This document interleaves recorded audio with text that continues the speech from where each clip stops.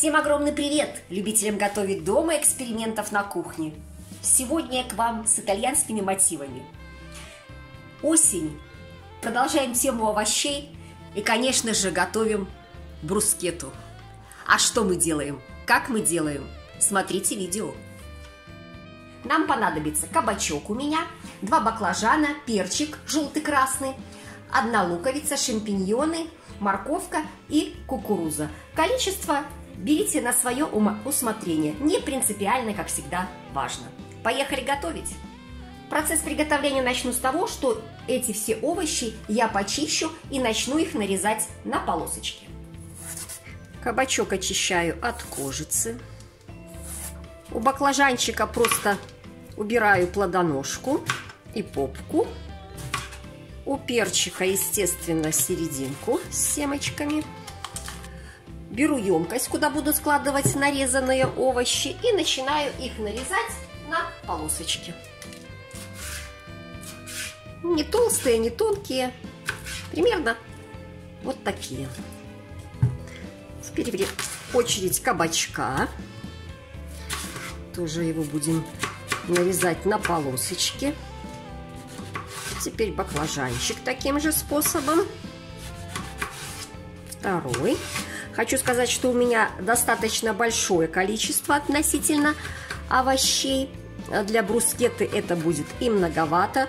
Ну и я делаю так специально, чтобы овощи остались и можно их было использовать в качестве гарнира. Если же вы, конечно, будете готовить только для брускеты, тогда берите их в два раза меньше. В общем, все зависит от вашего желания. И теперь грибочки, шампиньоны. Тоже нарезаю их просто так. Теперь луковицу нарезаю полукольцами. Теперь морковь. Теперь сковородку ставлю на огонь, в которой буду обжаривать наши овощи. Это высыпаю все вот сюда. Вот еще грибок остался один. Так, я его дорежу. И здесь это все перемешиваю. Вот таким образом. Прямо на поверхности, на столешнице. Вот так. О, какая красота! Радуга! Добавляю в сковородку масло растительного и обжариваю. Ай-яй-яй, мы забыли о царице полей. Поэтому еще сюда добавляю кукурузку. Просто зернышки вот так вот. Ой, здесь вот надо срезать. Отрезаю. Вот так перемешиваю. Вот, добавляю масло. Отправляем овощи. Овощи начнут обжариваться и дадут сок, но я все равно добавлю буквально чуть-чуть водички. Меньше, чем полстакана. Овощи уже слегка притомились. Сейчас мы будем уже, конечно же, их солить по вкусу, добавлять специи по вкусу. У меня паприка копченая. Добавляем паприку, чеснок сухой. Тоже немножечко добавляю. Э, Черный перчик. Вы, опять же, по своему вкусу, какие специи у вас есть, какие предпочитаете. И орегано. Хорошо и смесь трав к овощам подходит. И сейчас уже можно включать духовой шкаф вверх-вниз 220-230 градусов. Потом покажу для чего. И поскольку у нас брускета, какая же брускета без чиабаты, поэтому кусочек чиабаты я сейчас вот так вот разрежу поперек. Угу. Ну, если чиабаты у вас нет, можно взять, конечно же, и багет. Тоже очень хорошо будет. Так, эти кусочки еще пополам. Перекладываем чабату на противень, высланный пергаментом. Так. И сейчас эти кусочки немножечко полью оливковым маслом. Вот так вот немножечко вилочкой мякиш придавлю. И когда духовка разогреется, отправлю э, чиабату, чтобы она подрумянилась слегка. На минут 10. Овощи готовы, я выключаю, пока они нам не понадобятся. Пока чиабата запекается в духовке, овощи, естественно, мы уже выключили, я возьму кусочек моцареллы и натру на крупной терке. Если нет моцареллы, можете взять любой другой твердый сыр. Еще нам понадобится томатная паста. Ну, в данном случае у меня томатная паста. Вы можете взять кетчуп, но я ее немножко так э, сдоблю перчиком, посолю и будет как кетчуп. Пару столовых ложечек сюда добавлю соли, перца. Буквально щепоточку сахара. Вот так.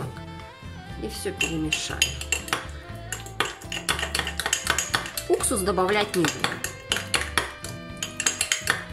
Кетчуп, конечно, в идеале. Ну вот чиабата подрумянилась, я ее достала из духовки. Теперь я ее смазываю соусом томатным. Немножечко. Ой, уже аромат стоит даже от жареной чабаты. Вот так. Теперь сверху овощи. Вот так аккуратненько выкладываю. Ничего страшного, если разваливается. Просто э, вообще берите больше кусочки, тогда, конечно же, получается лучше. Ну ничего, мы же для себя готовим. Не на выставку чай, не на презентацию для кого-то, а для себя вкусненько, по-богатому. Так, а теперь, конечно же, сверху сырок. Обильно. Вот так, вот так. А если есть сыр пармиджано риджано, то вы вообще почти в Италии. О, как же я это люблю. Все, и в духовку, чтобы сыр расплавился. Смотрите, еще осталось сколько овощей. То есть у меня к вечеру будет и гарнир, или э, можно еще приготовить брускету, или просто завтра поставить в холодильнике холодными их съесть. Поэтому великолепный вариант. Ну вот, достала из духового шкафа. Долго не держите. Сыр вот буквально чуть-чуть поплыл, и все, доставайте. Не надо, чтобы он запекся прям до коричневой корки. Ну, сейчас засервирую. Ну и последний штрих, немножечко базилика. Правда, у меня слегка как бы подвял, но тем не менее.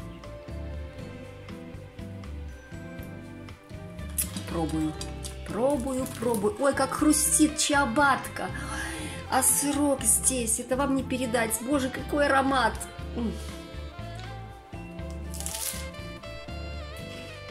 Ну, что сказать. Это очень вкусно. Если ваши домашние не оценят, смело выгоняйте их из дома. Шучу, конечно. Готовьте с удовольствием. Это очень вкусно, полезно.